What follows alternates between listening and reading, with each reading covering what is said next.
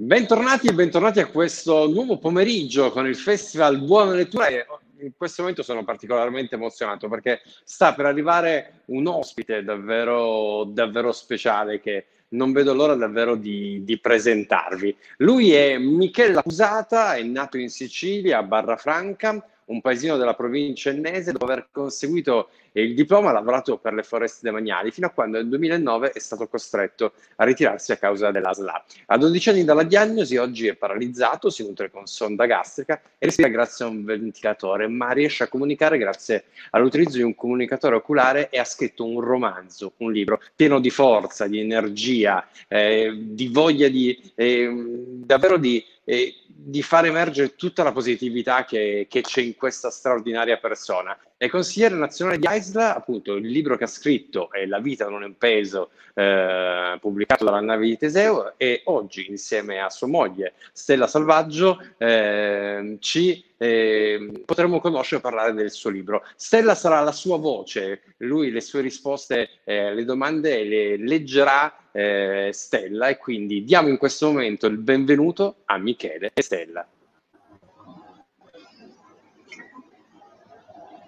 Salve a tutti! Ciao Michele, ciao, ciao Stella! Non vi vedo in questo momento in, Adesso video, sì, siamo okay, ritornati. Adesso sì, eccovi. Okay. Ciao, ciao Michele, ciao Stella, che piacere avervi, avervi qua. Ciao. È un piacere tutto nostro, Gianni, grazie a voi. È, è, davvero un onore. Come ho raccontato in questo momento, oggi tu sarai la voce di Michele che risponderà lui alle domande che, che gli abbiamo fatto, ma insomma lui ha scritto le risposte, tu oggi gli darai la voce a queste, a queste domande. Eh, raccontavo che siete, ho raccontato un po' è Michele in, in, breve, so che siete nella provincia di Enna e come ci siamo raccontati in questi giorni, io ho la mamma che è nata a Caltanissetta, quindi insomma siamo, abbiamo le origini che sono quasi vicine di casa. Vicini, vicini di casa, sì sì. Assolutamente. Eh, Stella, so che prima di partire volevi, vole, voleva leggere una premessa, eh, Michele. Michele, sì, Michele fatto una premessa. Intanto io volevo ringraziarvi per aver dato la possibilità a Michele di rispondere lui personalmente alle vostre domande, perché altrimenti io dico posso sostituire le mani e i piedi di Michele, ma la sua mente e la sua testa non la posso sostituire non più Michele. Quindi grazie di averci dato la possibilità a Michele di rispondere lui personalmente. Mi sembrava davvero il minimo, insomma, è una cosa, allora. è una cosa a cui tenevamo molto. Infatti, allora, Prima di rispondere alle domande che vorrai porgermi, vorrei ringraziare di vero cuore Gianni per la sensibilità che ha dimostrato nei confronti di chi soffre a causa della SLA. Ti ringrazio a nome di AIS, spero si presenta. Mm, Stella, ti, per, ti abbiamo perso. Stella, e grazie Stella, per Stella, la generosità. Stella, scusami, ti abbiamo, ti abbiamo purtroppo persa. Eh, ma, ma poi se che il microfono io ce l'ho qua più vicino? Sì. Eh, esatto, ti, ti devo... Aspetta, cosa posso fare? Non si è sentito. Aspetta, magari metto il microfono così più perché vicino. Co- esatto, co- così si sente benissimo. Eh, riparti pure perché a un certo punto ti abbiamo persa. Vai. Eh, sì. Allora, mh, mm, comincio da capo? Vai. sì. Sì, Prima prego. di rispondere alle domande, vorrei ringraziare di vero, di vero cuore Gianni per la sensibilità che ha dimostrato nei confronti di chi soffre a causa della SLA. Ti ringrazio a nome di AISLA e di tutti i numerosi malati che essa rappresenta. Grazie per averci coinvolti in questa bella manifestazione e grazie per la tua generosità. A tal proposito ricordo a tutti coloro che ci stanno seguendo che il 15% dei proventi ricavati dalla vendita dei libri sarà devoluto all'AIFLA. Ecco, ci tenevo molto a ricambiare l'affetto che tu hai mostrato nei nostri confronti. Detto questo, devo ringraziare la meravigliosa persona che mi consente di essere e di sentirmi vivo. Colei che per l'amore che nutre verso di me sacri- sacrifica la sua persona, il suo tempo e la sua libertà per consentirmi di vivere al meglio questo difficilissimo percorso. Colei che mi consente oggi di partecipare ed esprimere la mia vitalità, prestandomi la sua voce e il suo immenso cuore. Un umile grazie lo devo alla mia luminosa stella e il mio grande ed eterno amore. So che lei ha dedicato a leggere i ringraziamenti che le ho dedicato, però ero certo che non avrebbe mai omesso di trasmettere il mio pensiero. E allora, io qua vorrei dire qualcosina, scusami. Certo. Allora, non è così, non è un sacrificio per me assolutamente, ha usato un termine che non va fatto, non va usato, non c'è nessun sacrificio da parte nostra, mia, dei ragazzi, perché là dove c'è l'amore non c'è peso assolutamente. E non, ne, non, ne, non mi privo nessun, il tempo che dedico a lui, noi ce lo dedichiamo perché adesso io e Michele abbiamo messo in pratica quello che abbiamo promesso all'altare, noi abbiamo promesso fedeltà nella malattia e in salute e quindi siamo stati messi alla prova e stiamo, stiamo, ci stiamo comportando di conseguenza, quindi non sono privata di niente, stare accanto a lui è il minimo, cioè è un, un piacere, assolutamente. Fantastico. E, soprattutto vedevo l'espressione, il sorriso di Michele mentre tu leggevi, insomma, immagino che, che gli abbia fatto piacere però uh, dedicarti quel, quel, pensiero, è una cosa, è, è una cosa davvero meravigliosa. E, ehm, noi appunto, eh, per chi non lo sapesse, per chi si chiede in che senso eh, abbiamo fatto rispondere domande eh, direttamente a, a Michele, io appunto, noi abbiamo mandato queste domande qualche giorno fa e Michele effettivamente riesce a scrivere usando questo puntatore eh, elettronico in qualche modo eh, e quindi riesce a esprimere il suo pensiero eh, e tu sei ovviamente la, la sua voce. arriviamo proprio Gianni, a parlare di... un attimo. Certo fa piacere quello che stai dicendo perché qualcuno pensa che un malato SLA è un non pensante, che è messo, è un allettato, è un vegetale. No, non è così. Cioè, Michele non può muovere gli arti, ha un problema, una disabilità fisica, ma mente, se posso dire, io accanto a me ho un marito Ehm, che mi guida in tutto e per tutto, guida la sua famiglia, è un marito, è un papà per i miei figli. Magari ci sono persone che non hanno nessuna disabilità fisica, però con la testa non ci sono, cioè non tolgono il suo, il suo, il suo compito di essere papà, di essere marito. Quindi io ringrazio Michele e, e soprattutto perché la SLA non ha potuto e non ha potuto interrompere mm, la sua personalità, il suo modo di essere, il suo modo di fare. Assolutamente, questo è davvero un... Eh, noi ci tenevamo che appunto fosse, fosse lui a rispondere, che si sentisse davvero eh, protagonista di questo, di questo, incontro, perché eh, se lo merita e perché io lo faccio rivedere. Questo è il libro che, che, ha scritto, che, ha scritto, Michele, La vita non è un peso, che racconta la sua storia e adesso ne andiamo, ne andiamo a parlare. Eh, come scrivi nel libro quando ti è stato, voglio partire da questo punto, quando ti è, eh, ti è stata diagnosticata la malattia, il dottore ti ha consigliato di vivere gli affetti, di vivere la tua vita, gli affetti, l'amore, di dimenticarsi il lavoro. E poi è andata così. Sì, questo fu il consiglio che mi diede il medico come risposta alla mia richiesta di sapere se potessi continuare a lavorare. Già fu una tragedia apprendere di non poter più lavorare e provvedere alle necessità della famiglia. Immaginate la violente mazzata che ricevemmo io e Stella nell'apprendere che si trattava di una malattia incurabile. Per dare un'idea di questo preciso momento, dico che crollammo su noi stessi come le torri gemelle, con la differenza che nel caso nostro l'attentato fu perpetrato dalla natura che tutto crea e tutto distrugge. Perfetto. Grazie, una malattia inguaribile, inguaribile. Io dico che incurabile non lo diciamo perché io penso che la cura per questa malattia sia l'amore, sia l'affetto e la vicinanza della famiglia, parenti, amici.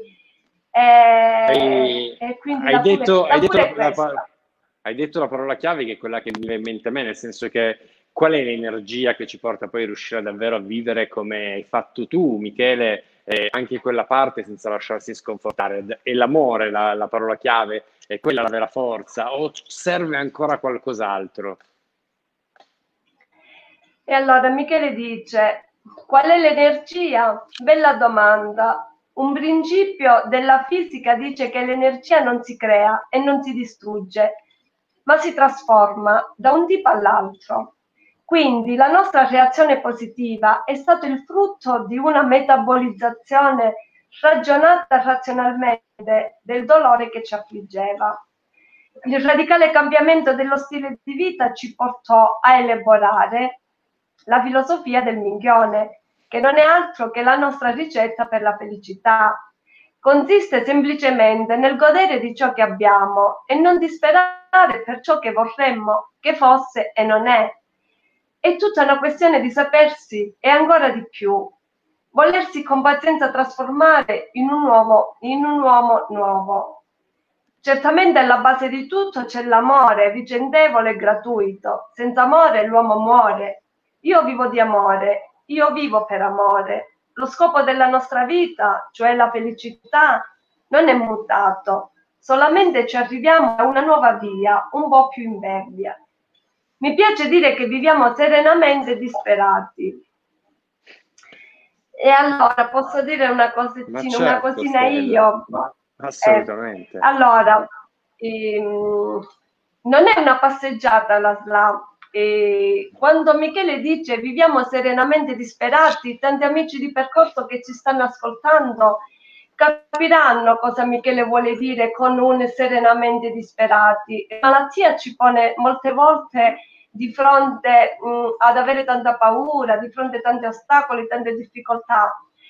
Però se ci siamo noi poi che dobbiamo decidere se vivere diciamo io e Michele, l'inverno è il paradiso, pure tu hai pensato questo.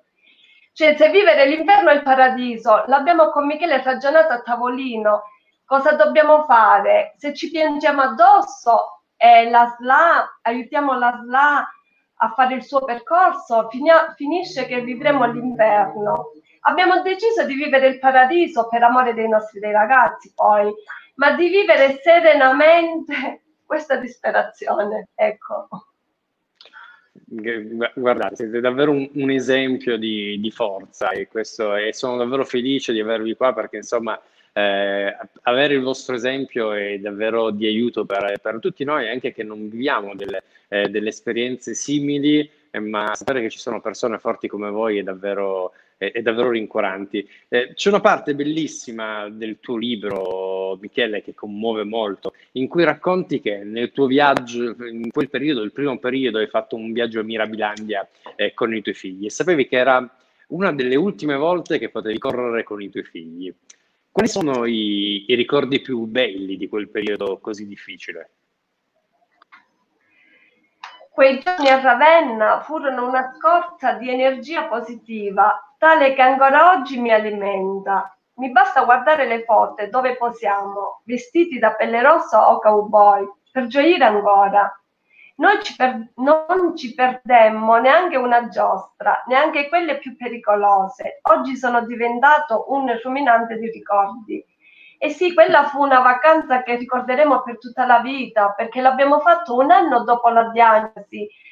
E, ehm, e i ragazzi ci avevano detto, allora avevano il grande 16 anni, 13 il secondo e 9 la piccola. Ci avevano chiesto da tempo di andare a fare questa vacanza però per mille motivi lavorativi una si manda sempre all'indomani e allora la, la, la bestia, diciamo, la malattia di questo possiamo, eh, possiamo, dire che è stata positiva, che abbiamo cercato di, abbiamo capito che non avevamo più tanto tempo, ecco, quindi abbiamo subito accelerato e detto ok va bene partiamo, abbiamo detto ai ragazzi.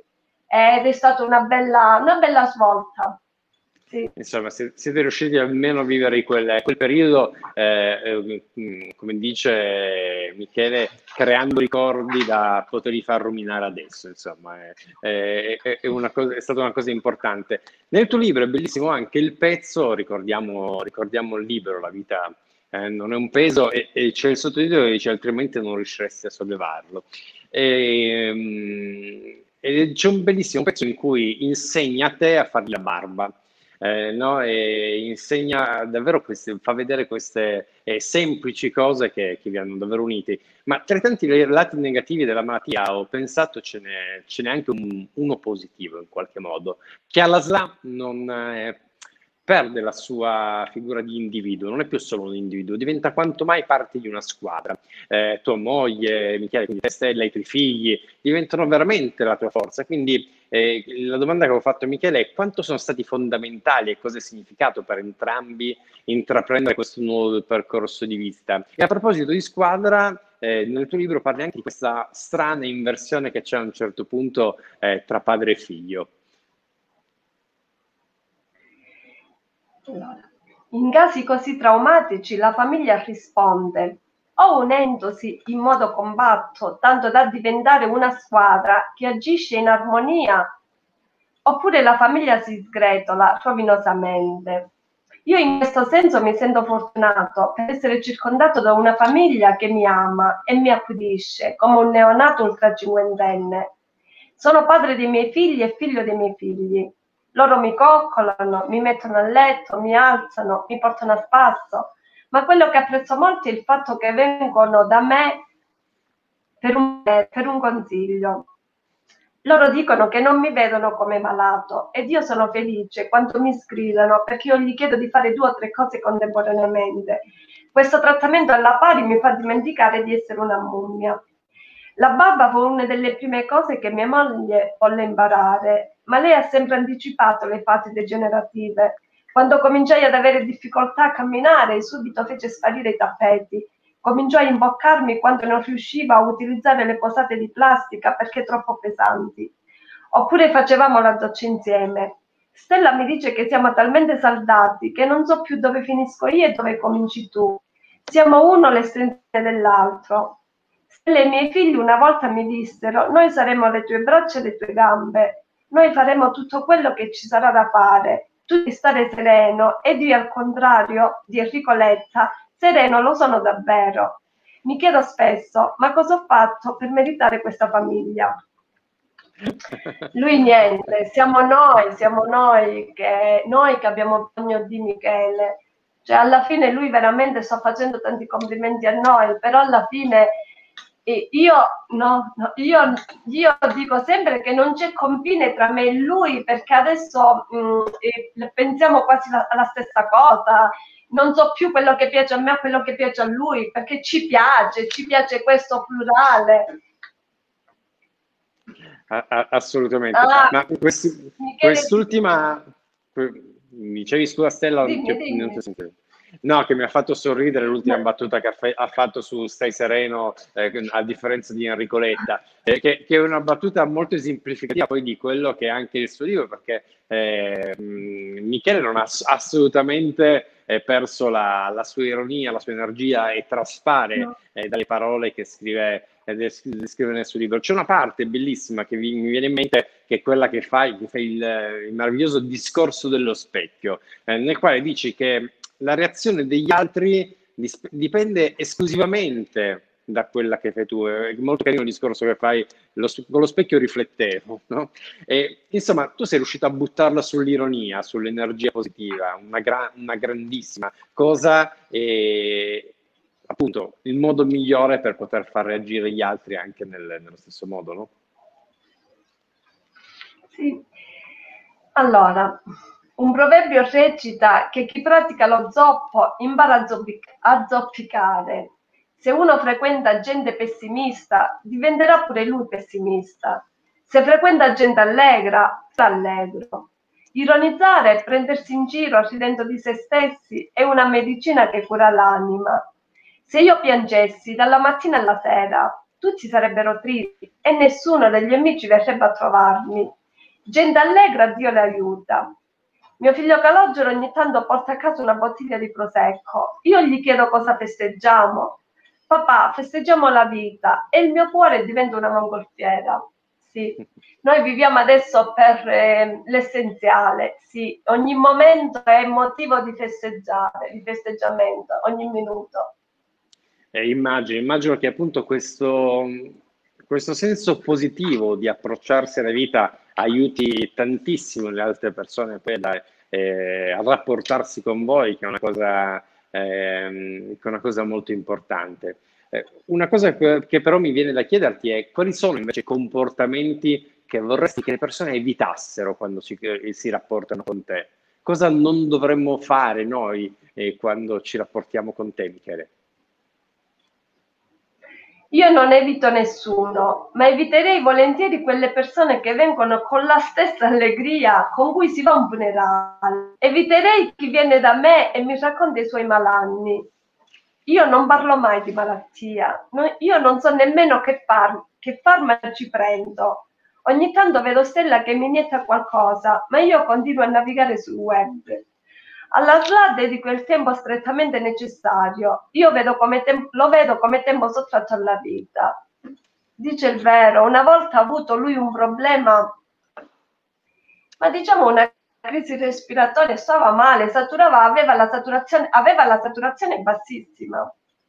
Aveva la saturazione bassissima. Io ero preoccupata a cercare di aspirarlo, di fare, e lui conversava tranquillamente con un amico.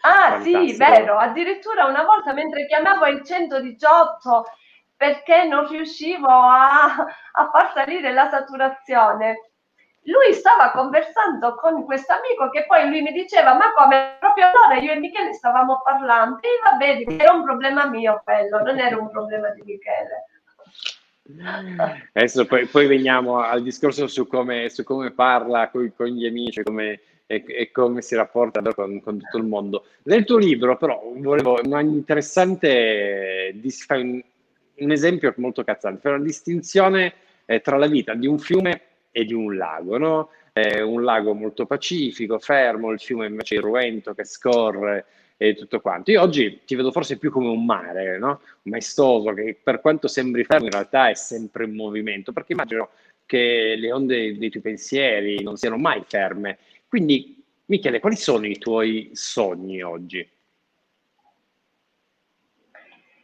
Se per mare intendi un'enorme massa d'acqua che fluttua interiormente e mi scuote l'animo, sono d'accordo. Ma io mi sento più un fiume che scorre sottoterra, invisibile all'occhio umano, che soltanto un rabdomante con il suo strumento può percepire. Il mio sogno è riuscire a diventare nonno e sbagiucchiarmi i miei dolci nipotini Spesso me li immagino sdraiati sopra le mie coperte che si arrampicano per acciuffare il mio naso. Spero che non incentivi i ragazzi a fare questi nipotini, Michele, con questa, con questa risposta. Beh, è un, sogno, è un sogno bellissimo, immagino. È un sogno, belli, è un sogno bellissimo. Stella, ma quanti anni hanno i, i vostri figli? Eh, adesso, adesso hanno 29 il grande 26 il secondo e 22 la piccola. Sono grandi adesso. sono grandi, sono grandi. Eh, Michele, invece una, un, eh, una curiosità. So che in questi anni hai avuto il modo di incontrare Papa Francesco. Eh, che, ricordi, che ricordo è stato? Che emozione ti porti di, quella, di quell'esperienza?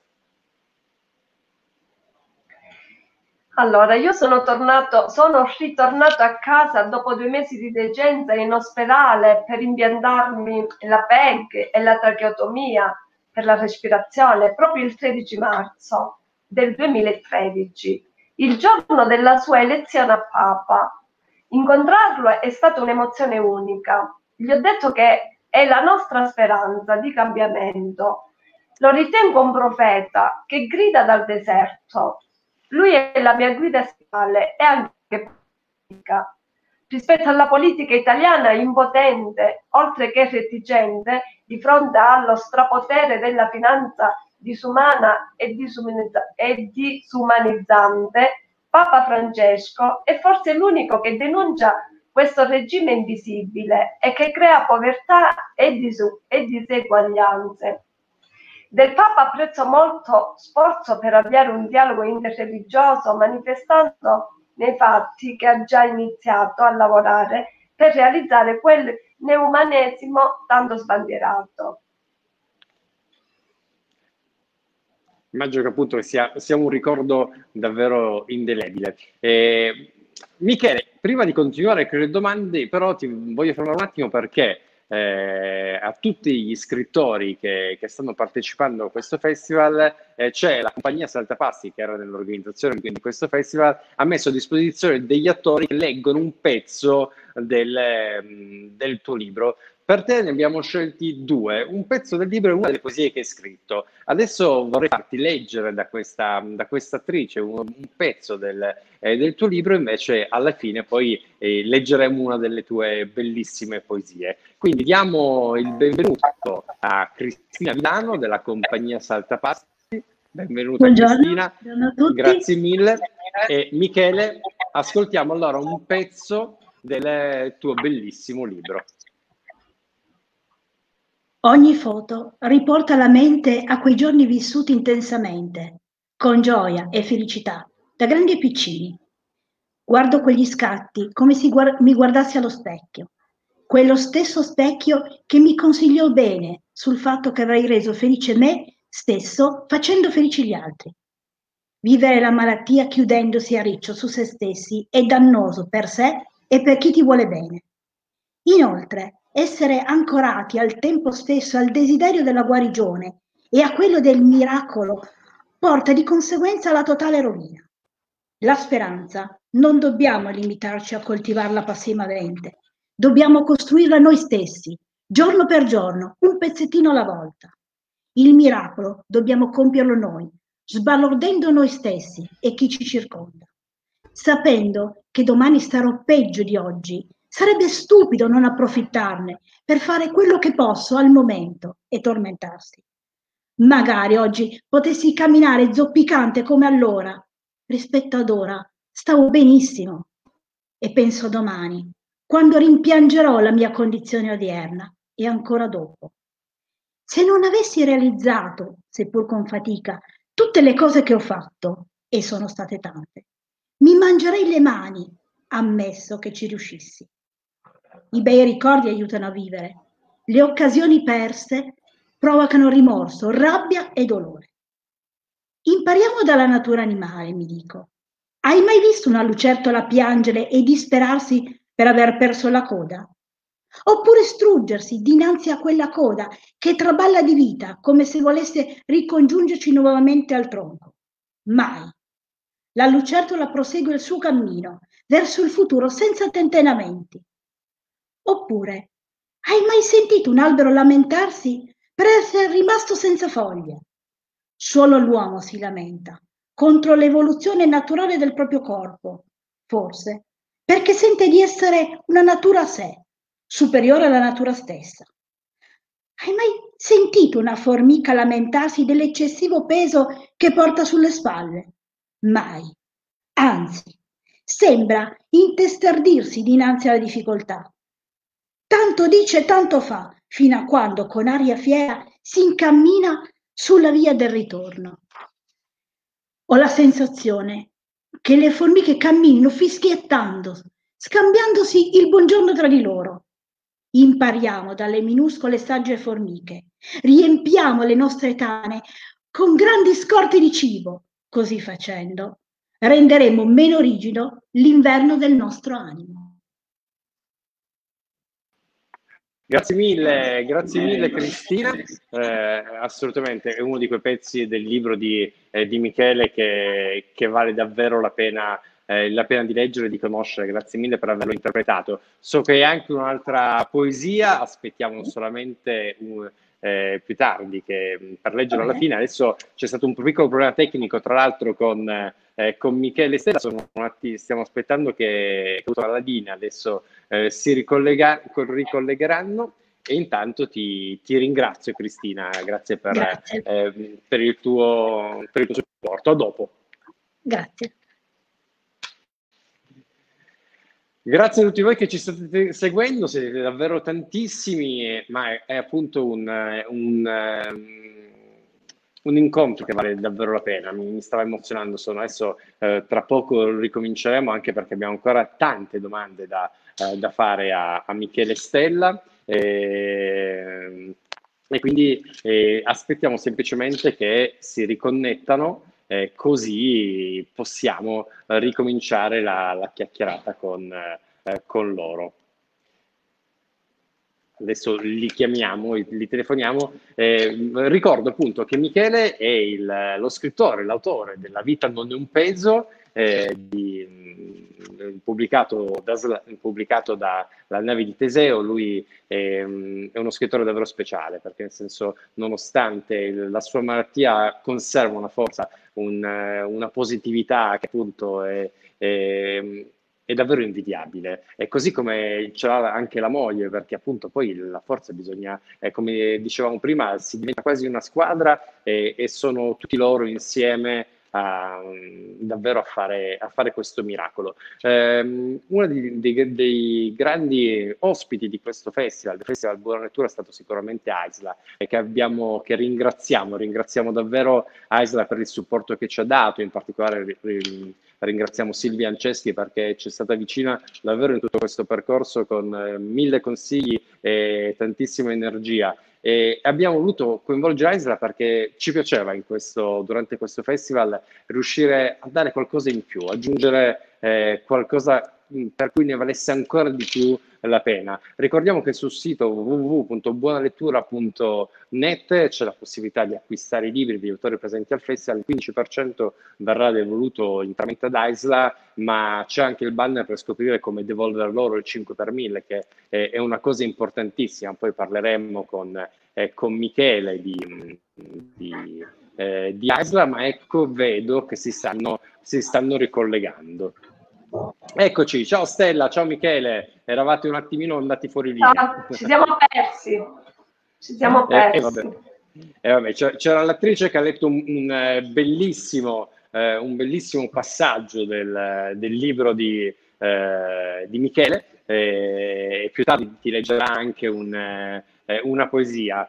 come scrive Fabrizio Gentile, un emozionante e toccante passaggio come tutto il libro. Belle, tutto il libro. E, ehm, e tu sei appunto, dai questo messaggio di speranza in fondo, perché nonostante tutto c'è questa cosa che continua. E i tuoi lettori però fai fare anche eh, l'esperimento a un certo punto per far capire, perché cerchi davvero di far capire qual è la tua condizione, di stare fermi nel letto. E dici, provate a stare per un'ora fermi nel vostro letto, senza muovervi completamente, cercando di, di capire davvero cosa, cosa si, può, può, si, può, provare. Perché nel tuo libro sei completamente sincero, metti, ovviamente non fai vedere solo, eh, non sei ipocrita, non fai vedere le cose solamente positivi, fai vedere anche i, i, lati negativi, come possono essere state le tensioni che ovviamente eh, questo problema può aver creato con i tuoi familiari, però dici che ti ha permesso di imparare tante cose che penso che sia una cosa bellissima e che sa- ti ha permesso di sapere cose adesso che avresti voluto mettere in pratica eh, anni prima. Dici che speri che il tuo libro possa lasciare qualcosa a qualcuno. Ecco, qual è l'insegnamento più grande che ti ha lasciato, che hai oggi?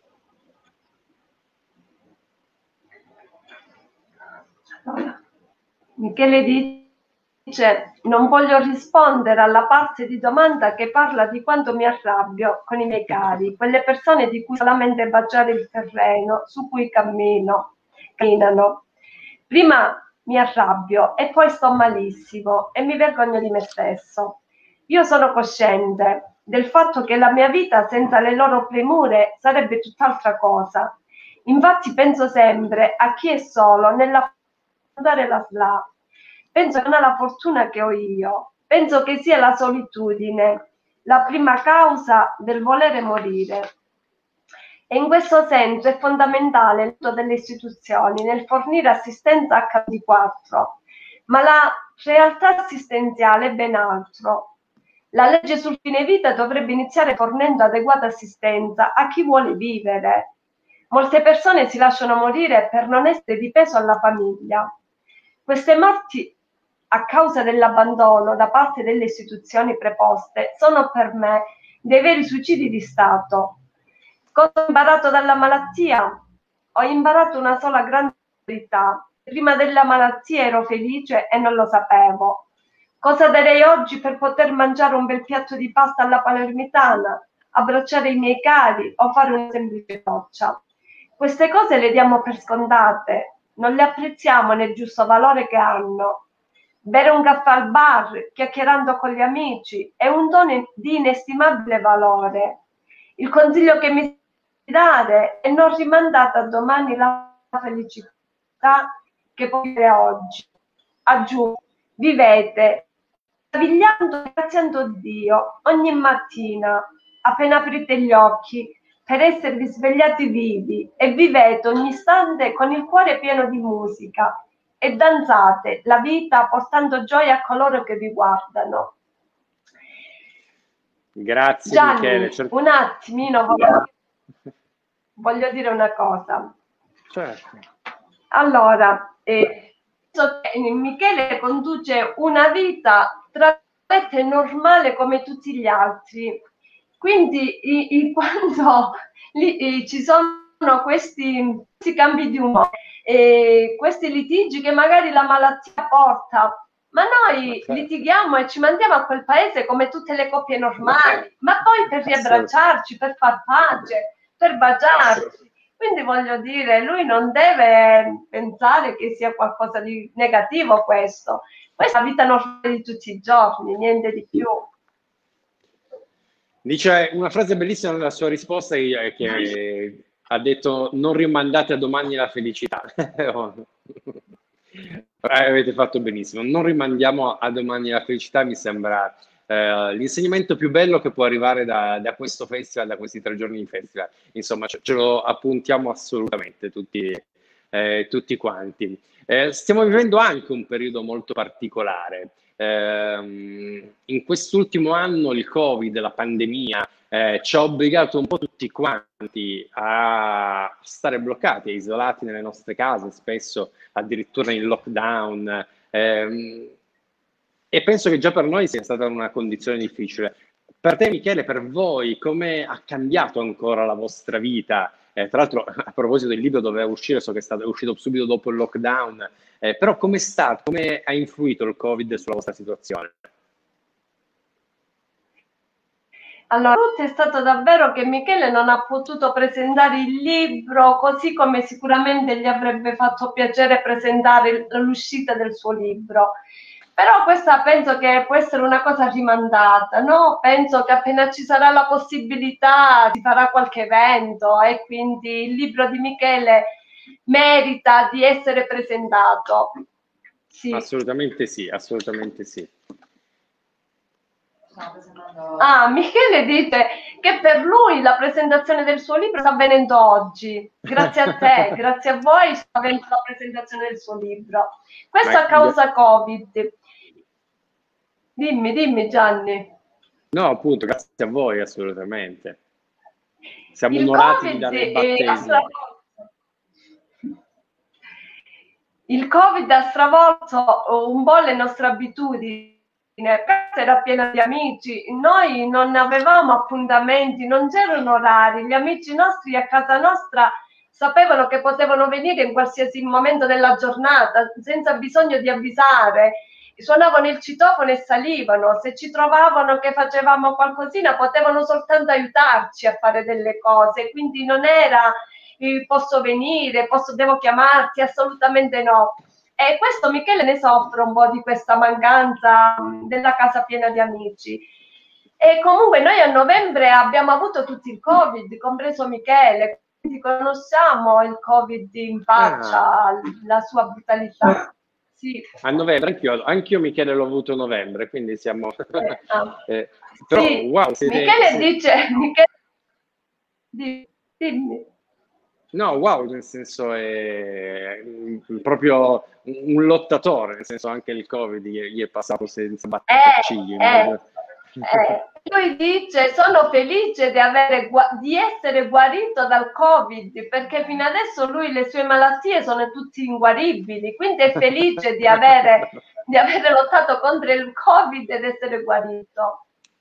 Grande. E grande comunque, sai, eh, nel Covid eh, l'abbiamo preso tutta la famiglia, tutti i ragazzi, tutti a casa nostra e quindi ci portavano parenti, amici, ci portavano le medicine, mangiare dietro la porta. E, ehm, Gianni, se posso ringraziare, eh, l'unica certo. famiglia allargata che mi sono trovata è stata la famiglia di Aisla.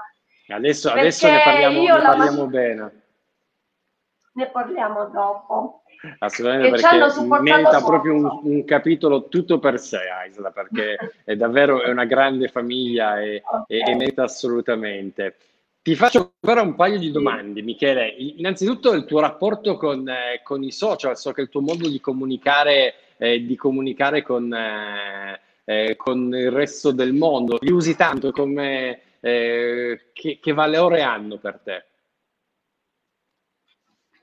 Valore immenso Gianni. Michele mh, mm, si sente vivo grazie anche al social e a questo comunicatore benedetto che ha.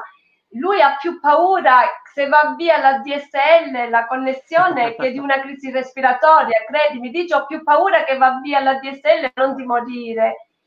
E per farci capire quanto ci tiene, ehm, lui con i social eh, viaggia, viaggia tutto il mondo, dico io a chilometri, a chilometro zero, a millimetri zero, viaggia tutto il mondo. Ha scritto il libro con il comunicatore, dialoga, WhatsApp, Facebook, email, lui fa di tutto. E addirittura ti posso dire che il 19 novembre, il giorno del suo compleanno, novembre scorso, eravamo tutti causa Covid chiusi a casa e lui mi ha detto la mattina Stella non preparare da mangiare perché ci penso io. Mi è sembrata già una battuta questa, mi è sembrata una battuta. Dico, vabbè, io non ho preparato perché non devo, stavo male, non si riusciva a preparare. Ebbene, alle ore 13 hanno suonato alla porta e ci hanno portato, eh, lui ha contattato un ristorante un ristorante con il, con il computer ci ha prenotato il menù completo dall'antipasto al dolce, vino e tutto quello che poteva essere un piacere.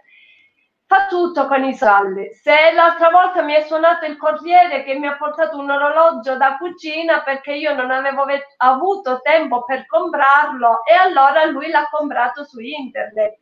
Mi ha bussato il corriere portandomi l'orologio da cucina fa tutto. Mi paga pure le bollette, mi paga pure le bollette dell'Enel, del gas e mi dà una mano veramente. Grande, grande Michele. Ma, e, e, poi leggi tanto, guardi tante serie tv, quali sono le tue preferite? Sì. Allora, aspetta che io mi addormento la sera, aspetta che ti leggo quello che ha scritto lui. In tutti questi anni trascorsi a letto, tra tra letto e carrozzina, ho dedicato tanto tempo a me stesso. Ho letto di tutto e di più, ho imparato a scrivere e mi diletto nel farlo. Ascoltare musica è una medicina oltre un viaggiere. Scelgo la musica in base al mio umore.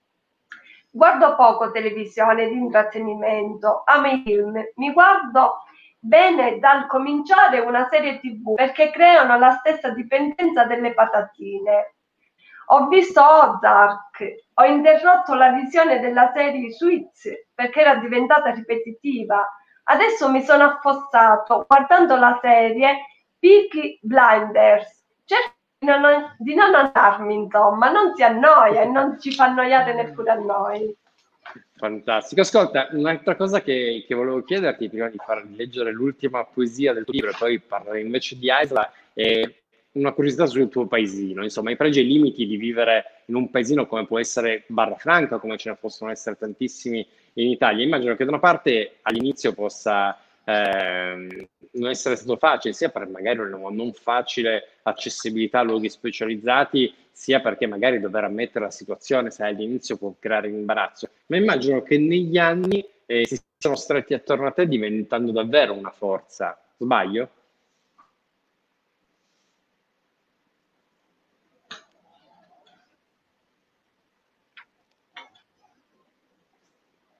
Stella?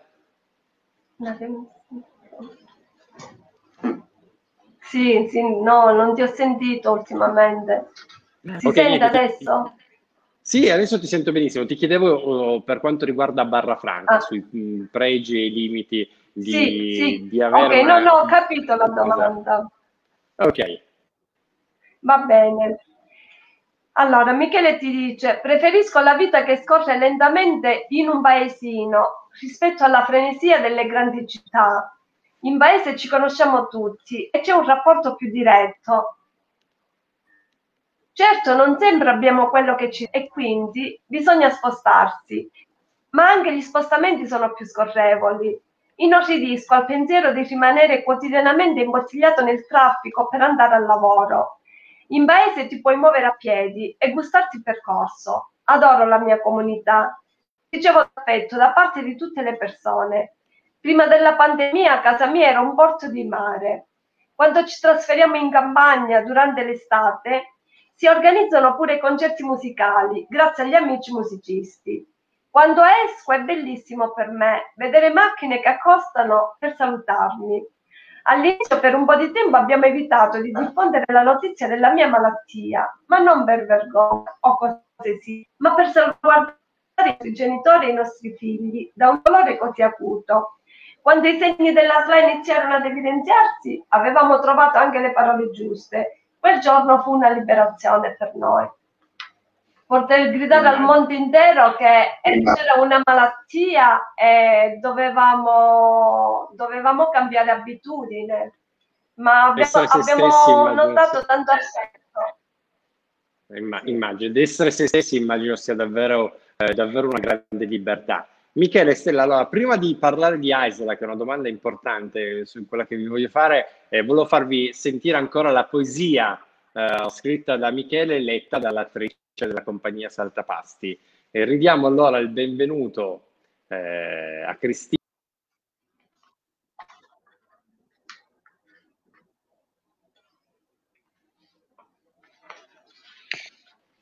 La mente... Perfetto. Vai Cristina.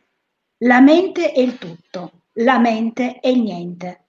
Essa è libertà, essa è prigione, pianto e pure gioia, essa è movimento, e l'io è la ragione. Essa è genio e follia, è anima, sapere e ignoranza insieme. Essa è comprensione, intolleranza, superbia, umiliazione, e pace, guerra, odio e anche amore. Essa è sostanza, coerenza, magia e illusione. Essa è l'universo ed esattamente il suo contrario. La mente è una tavolozza piena di colori con cui ogni uomo dipinge la sua tela. Grazie mille Cristina, insomma, Grazie. Michele, spero che ti abbia fatto piacere sentire. Complimenti, complimenti. Grazie Brava. Cristina, a presto, buona lettura anche a te.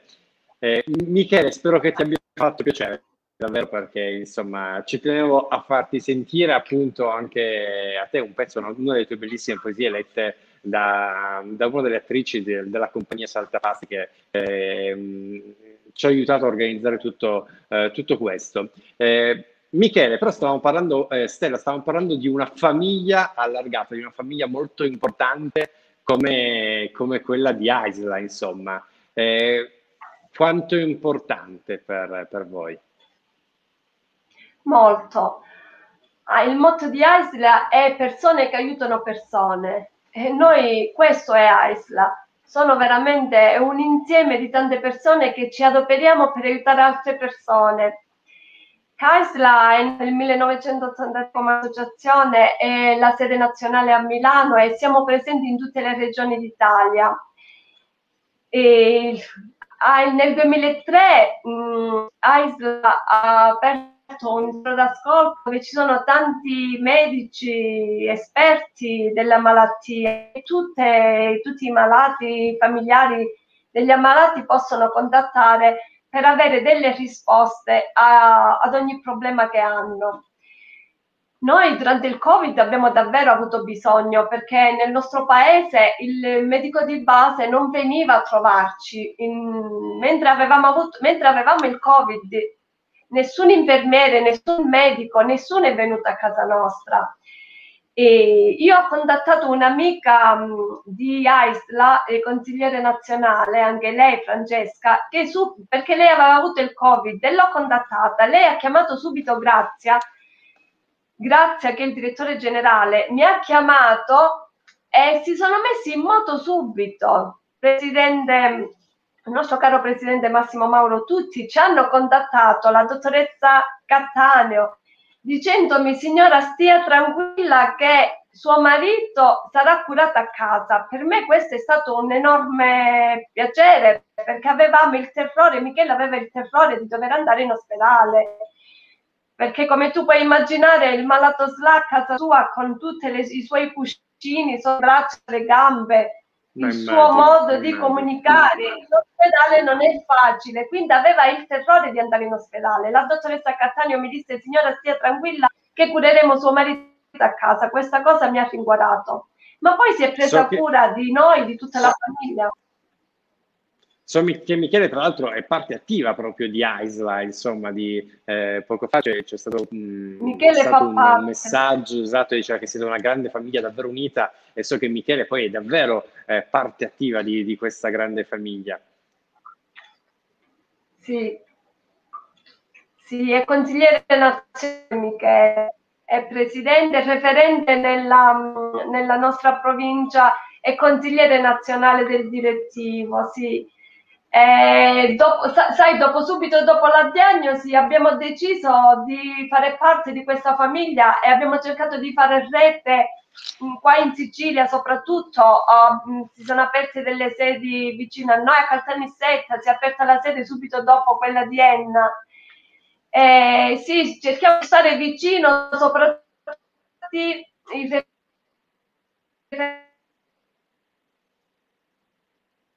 territori gli ammalati e le loro famiglie, sai, cerchiamo di si è bloccato. Stare vicino alle famiglie, agli ammalati e alle famiglie. Che immagino che sia una cosa, una cosa importantissima. Stella, adesso tra, tra, pochi minuti dovremo salutarci, vorremmo far vedere tra poco il bellissimo eh, spot che ha, che ha realizzato Isla insieme a degli studenti dello IED eh, per eh, pubblicizzare appunto l'importanza che ha Isla per voi e, eh, sia per eh, i malati ma anche per le famiglie, per tutti quanti, perché penso che l'obiettivo sia quello poi di vivere una vita come quella di tutti gli altri e avere qualcuno che ci possa supportare, eh, penso che sia qualcosa di davvero eh, straordinariamente importante. Eh, perché immagino che Michele ha la straordinaria fortuna di avere una persona come te accanto, Stella, ma immagino che eh, che ci siano anche persone purtroppo magari da sole o purtroppo che, che, non hanno, che non hanno persone accanto e poter sapere di avere qualcuno che si prende cura di loro immagino che sia una cosa straordinaria. Quindi vi ricordo sul sito di buonalettura.net trovate tutte le indicazioni per poter eh, devolvere anche il 5 per miglia d'AISA, quindi eh, mi raccomando andate a seguirle. Eh, Michele, Stella, io vi ringrazio di cuore. Ah, tra l'altro, a proposito di Aisla, so che sulla pagina Facebook di Aisla in questo momento hanno scritto tantissimi commenti che non siamo riusciti in questo di affetto, che non siamo riusciti in, questo, in questa ora a mandare tutti quanti in, in onda. Quindi poi andatevi a guardare perché eh, lui che è, è, bravissimo con i social sicuramente eh, gli farà piacere. Io, Michele Stella, vi voglio davvero ringraziare di cuore eh, per questa meravigliosa ora passata insieme, meravigliosa ora scorsa insieme. Speriamo di vederci al più presto, magari anche dal vivo, eh, appena passerà tutta questa pandemia. Sicuramente, sicuramente sarà un piacere, un vero piacere, un immenso piacere Gianni. Assolutamente. Io faccio rivedere ancora il libro di Michele e vi saluto facendo... Grazie. Grazie a tutti, Michele, ti ringrazio immensamente di cuore. Grazie, grazie, a voi e vi lasciamo con lo spot, quello lungo, non solo quello di 30 secondi che sta passando in questi giorni, di eh, Aisla, fatto dagli studenti di ED. Ciao Michele, ciao Stella. Ciao Gianni, ciao a tutti.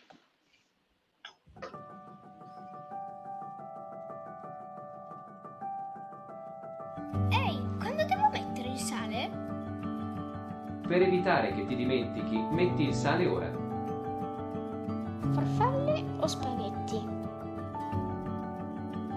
prendi gli spaghetti, si accompagnano meglio alla salsa di pomodoro. Da grande diventerò una chef famosa e aprirò un ristorante tutto mio. Davvero? Certo, papà. Ben detto Anna. Non smettere mai di coltivare i tuoi sogni.